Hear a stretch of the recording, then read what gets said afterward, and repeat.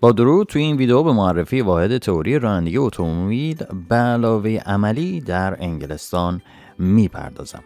وقتی وارد صفحه میشیم صفحه داره دو قسمت اصلی هستش قسمت آبی رنگ که همین ویدیو رو در خودش داره که الان بینندش هستیم و قسمت سفید رنگ که بیشتر مطالب اینجا درونش قرار گرفته. توی این قسمت هم وقتی وارد میشیم سه تب اصلی رو می‌بینیم تب لسن هزارد و تست توی lessons مورد اول FAQ هستش که به پرسش هایی که پیش از این برای دیگر دوستان مطرح بوده پرداختم به اونها پاسخ دادم که می‌تونه پرسش شما دوستان هم باشه. می‌تونید با دیدن این ویدیوها پاسخ پرسش هاتون رو پیدا کنید. مورد بعدی برای apply کردن برای گواهینامه provisional هست. اینجا ویدیوش رو داریم.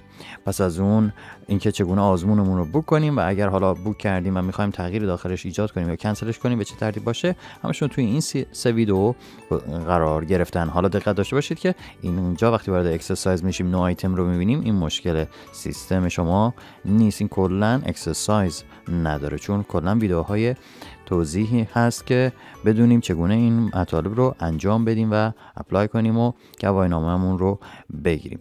وقتی برمیگردیم رو صفحه اصلی دوباره تو قسمت lessons practical رو داریم. توی قسمت practical که به درد همون آزمون عملیمون می‌خوره و پس از اینکه آزمون تئوری رو گذروندیم می‌رسیم به ویدیوهایی که در رابطه با آزمونمون هست. اگر بخوایم کنسل کنیم اگر نمی‌دونم. کلا توی آزمون چه اتفاقاتی میفته چه چیزی رو می‌تونیم با خودمون ببریم. اگر بخوایم از ماشین خودمون استفاده کنیم توی آزمون.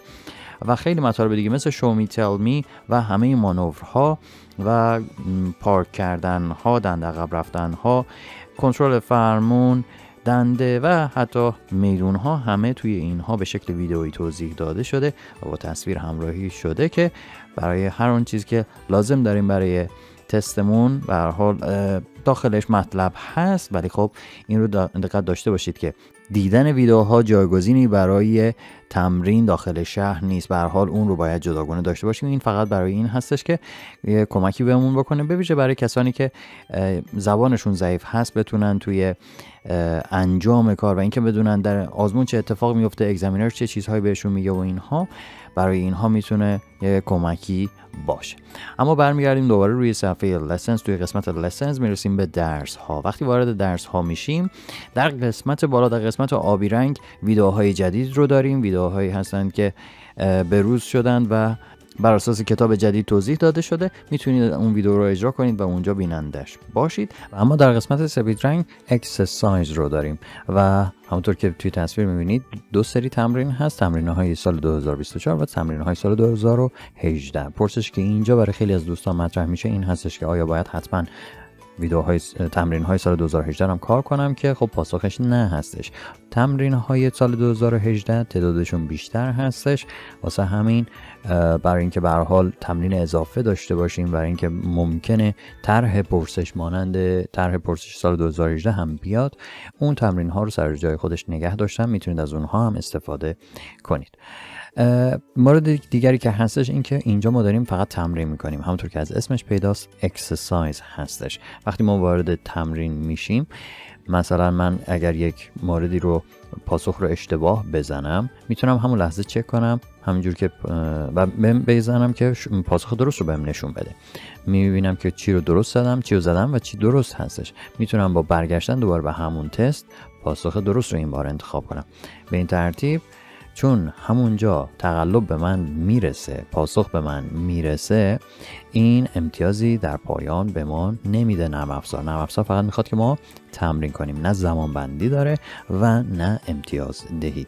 اما تمرین شبیه سازی شده داریم که توی اون به امتیاز هم می‌رسیم به زمان هم داره و همه این مطالب رو تو خودش داره که اون رو در جای خودش براتون توضیح خواهم داد. حالا از این قسمت که بیرون بیایم به حال تست های قسمت های بعدی رو section های بعدی درس های بعدی رو اینجاها داریم و بعدم یه سری مطالبی که در رابطه با آزمون هست و توی ویدیوها بهشون اشاره شده.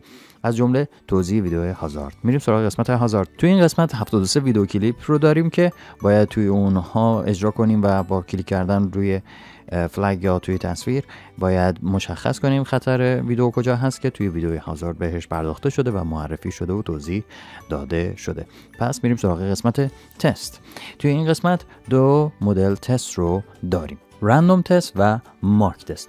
توی قسمت مارک تست که شبیه سازی شده یا آزمون واقعی هستش ما 100 تست رو داریم که پس از اون وارد قسمت هزارد میشه و باید آزمون هزارد رو هم پشت سرش بگذرونیم و دارای زمانبندی هم هستش و اتفاقا تفاوتش همینجاست. تفاوتی که این آزمون با آزمون واقعی داره این هستش که این آزمون از آزمون واقعی 7 دقیقه کوتاهتر هستش و به مراتب میشه گفت این آزمون سختری هستش. و تصور من این هستش که اگر شما بتونید ماکتست این اپ رو قبول بشید آزمون واقعی کار راحت تری باشه براتون. در روز آزمون فاکتورهای مانند استرس یه مقدار از وقت ما رو از بین می‌بره. ولی وقتی ما هفت دقیقه بیشتر فرصت داشته باشیم این موضوع می‌تونه توی اون فرصت حل بشه. اما مدل بعدی رندوم تست هست که در این قسمت شما می‌تونید مشخص کنید از کدوم بخش می‌خواید آزمون بدید و همینطور اینکه می‌خواید آزمون چند پرسشه داشته باشید. می‌تونید از یک بخش یا از کل بخش ها انتخاب کنید و تعدادش رو هم خودتون مشخص کنید با توجه به تایمی که دارید.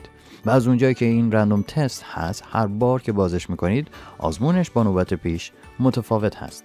و اما باز اگر پرسشی باقی مون می‌تونید توی همین صفحه از قسمت کامنت استفاده کنید و پرسشتون رو پیشنهادتون رو پیامتون رو برای من بگذارید و یا اینکه با زدن روی دکمه منیو وارد اینستاگرام بشید و پیامتون رو به شکل دایرکت هم برای من بفرستید.